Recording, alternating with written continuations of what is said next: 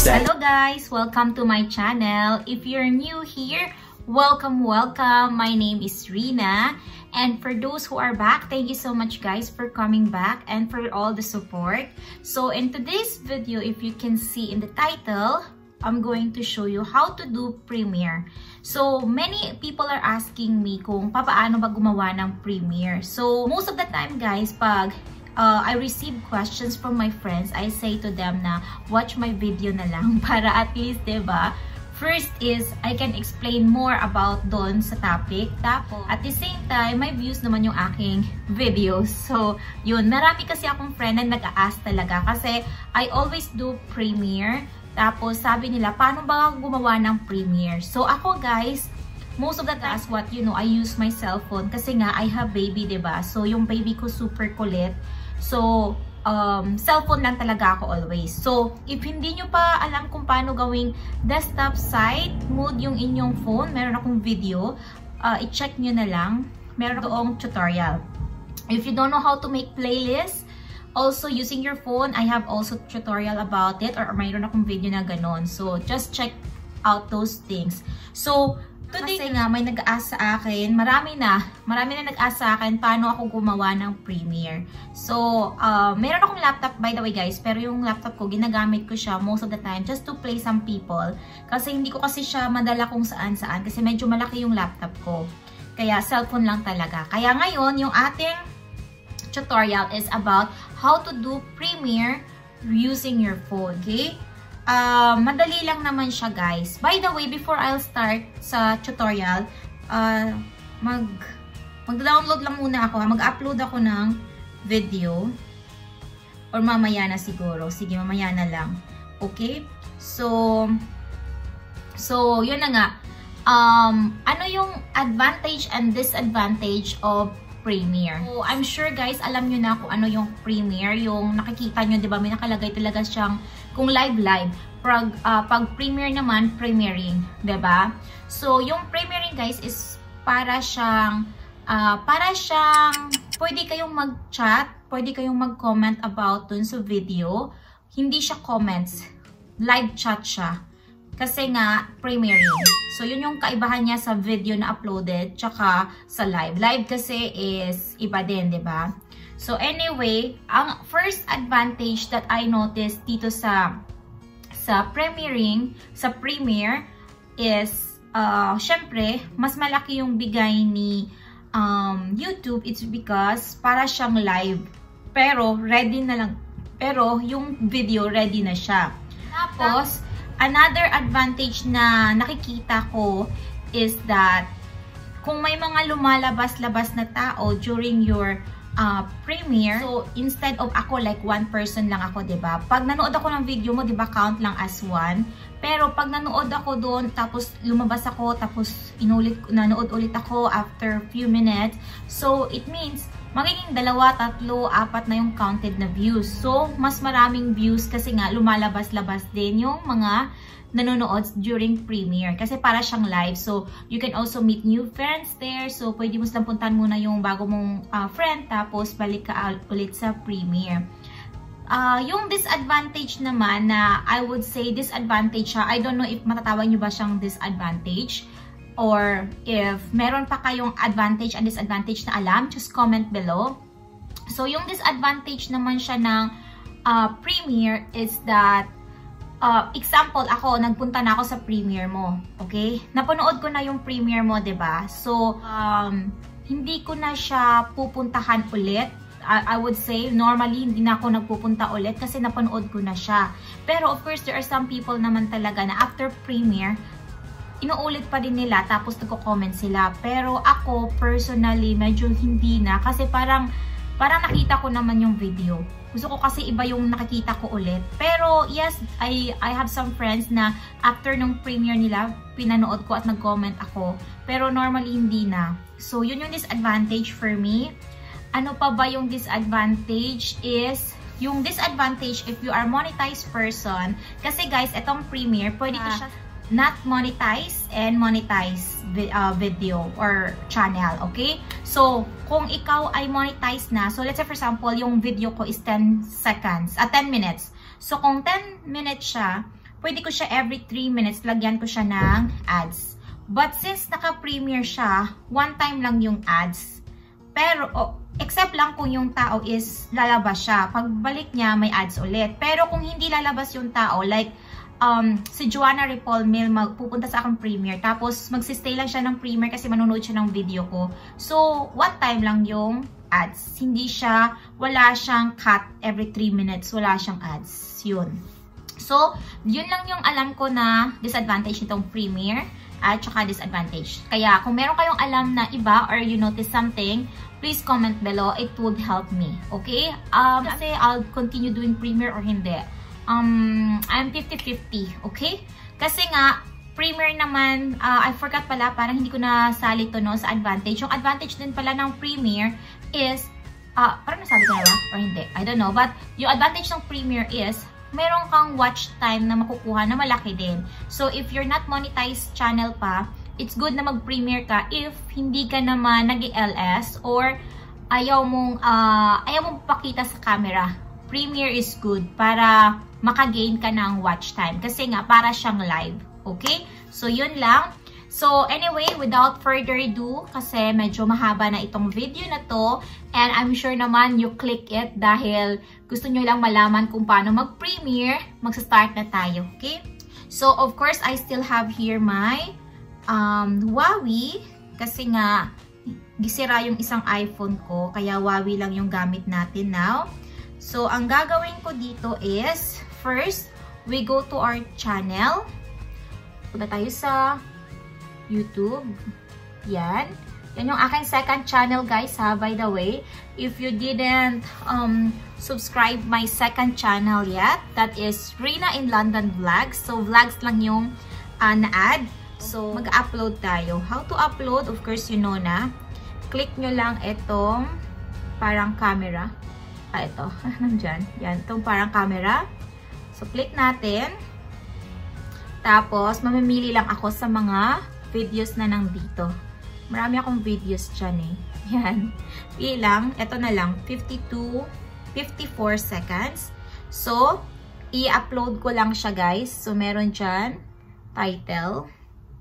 Nakikita nyo ba guys? Yan. Yun baby contents kasi itong sa akin ha. So, um, Alexander at 10 months uh, playing around. Yan.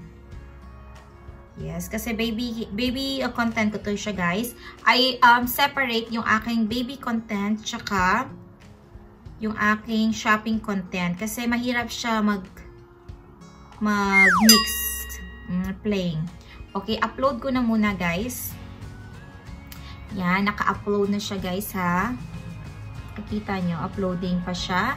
After nito, uh, after nito ma-upload, about 30 second remaining. Yes, madali lang to i-upload guys kasi nga 54 seconds lang naman. Yan. So, pag natapos na itong upload, um, punta tayo sa ating um, Ah, okay. Nakalimutan ko pala guys sabihin. Dapat hindi siya public. Hindi ko na-click yung pub na, uh, automatic kasi para public to. Mag-upload ako ulit, guys. I'm so sorry. Upload ako ulit ng yan, tingnan nyo oh, this video is ready to watch. Kasi naka-public siya. Kita nyo ba? Wait ha. Yan. Wait, parang hindi. Bakit ganito yung aking camera, guys? Wait, guys. Pakita ko. Yan. Oh, hindi siya mag-focus. Hindi siya mag-focus, guys. Yan. Basta yung nakalagay dito is ready to watch. This video is ready to watch. Upload ako ng another guys. Kasi nga, gusto ko ng ng video na sige, mag-upload ako ng iba. Oh my goodness. Sorry ha. Yan. Upload ako ng iba na unlisted yung ilagay nyo. Para, pag add kasi, ibig sabihin, wala pang makakapanood nun. So, pwede natin i-premiere. Kasi kung naka naka-public na siya. So, hindi mo na siya mapa-premiere, di ba? Okay, so, hanap ako ng iba. Marami naman itong video anak ko. Hindi ko lang alam kung anong video yung i-upload ko. Dami niya kasing video. Yan, hindi na lang ulit ako. So, upload tayo guys. I'm so sorry guys. Upload ako ng another. So, yon Click pa rin natin. Then, um, record video. Not record. Um, video. Choose lang tayo sa ating mga videos. Ito ay, ito, 5 minutes lang naman to. Yan, merong 5 minutes. Merong ito. Okay. Hindi ko alam kung ano i-upload ko guys. ito na lang. Mhm. Yan, ito na lang. 36, 36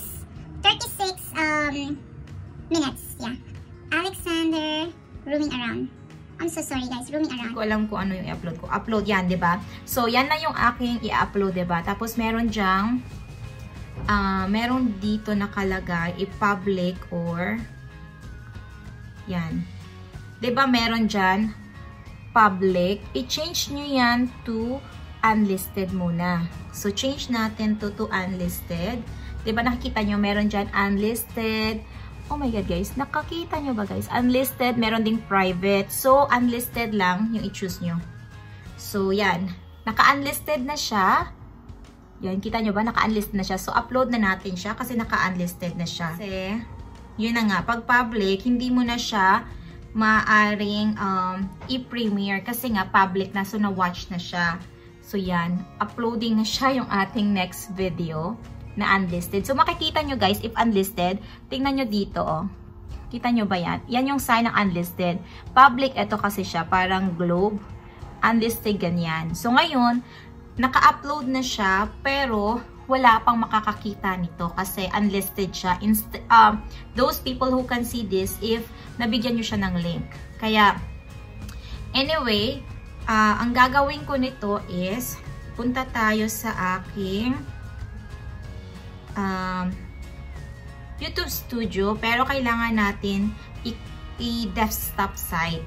So, yun na nga. Kung hindi nyo alam yung mag-desktop, meron tayong video about it. Panoorin nyo na lang, okay? Yan. And, punta tayo sa YouTube Studio. YouTube Studio. Yan. Guys, please comment below if gusto nyo mga ganito na uh, videos or hindi.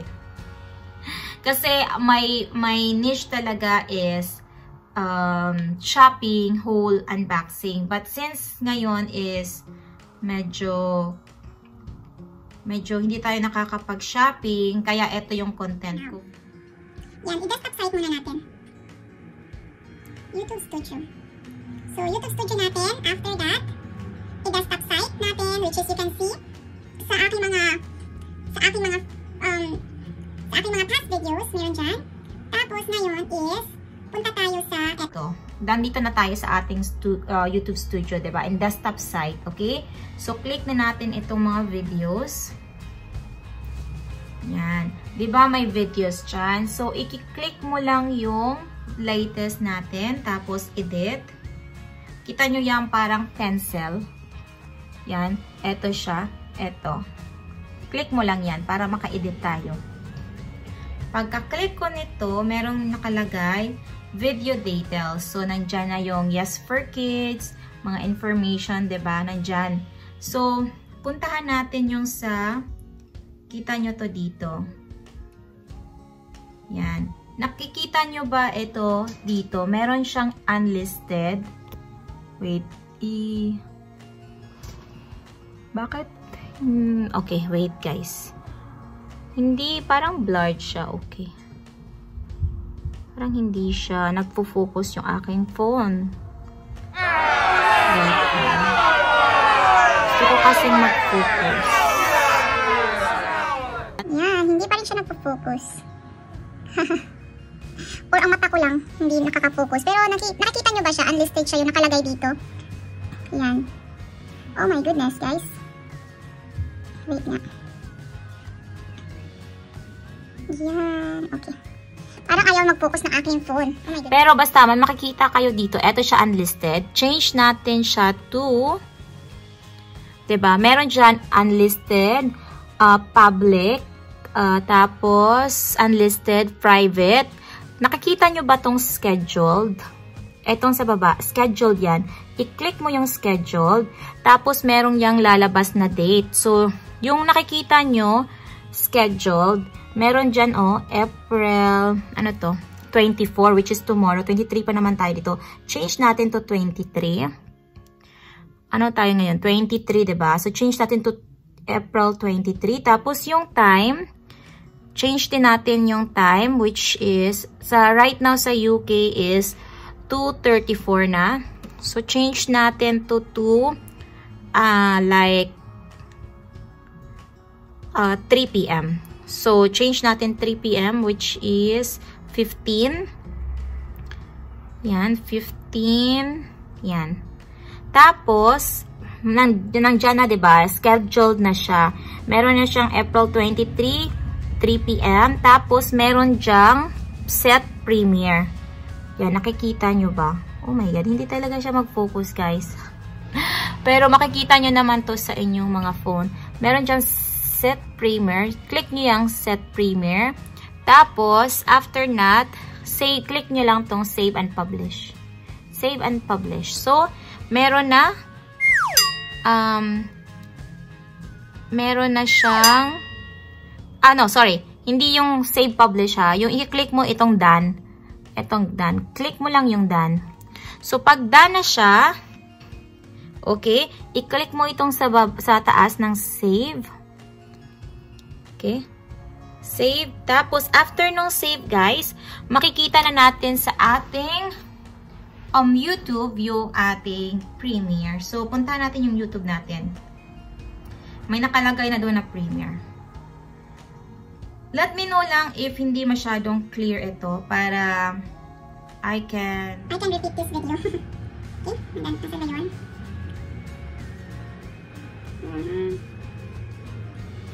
So,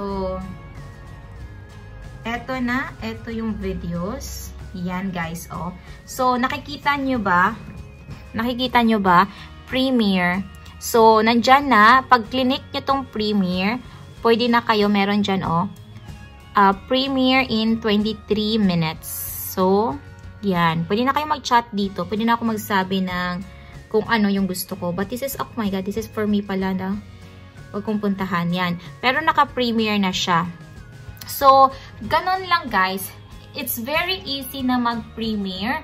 Um, actually, most of my friends, they said na pag nag-premiere, dapat is yung video mo medyo mahaba-haba din naman. Kasi nga, most people, marami magpupunta sa'yo dahil they want to meet new friends. And pwedeng mahaba, pwede. So, depende lang sa'yo talaga. Okay? So, yun na nga. Comment lang if you think na meron disadvantage, more on disadvantage ng Premiere or more on advantage. Para alam ko na din. Kasi I usually upload my videos through Premiere. Um, ano pa ba guys? Yun na lang. Yun na lahat ng nasabi ko. And for those uh, who didn't subscribe yet to my channel, please do subscribe and hit the bell. And for those naman na nag-enjoy sa video na to, please like this video guys. And um, uh, please like this video and share this video to your friends para alam nila how to do Premiere. So, that's it for this video. I'll hope to see you again tomorrow. Bye-bye!